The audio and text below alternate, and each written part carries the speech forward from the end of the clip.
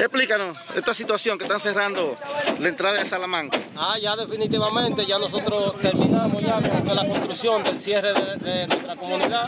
Entonces nosotros ya, a partir de este momento, el que venga de que a vacacionar para acá, no tiene Pero entrada. ¿cómo vacacionar? ¿Qué, ¿Cómo es Eh, eso? Usted sabe que estamos en cuarentena y aquí muchas personas no se están cumpliendo. En el caso de la especie, en nuestra comunidad que estamos hablando, dicha comunidad de Salamanca, vienen ciento y pico de motores diarios ¿Hay algún río aquí? a bañarse en el río y nos van a afectar el río.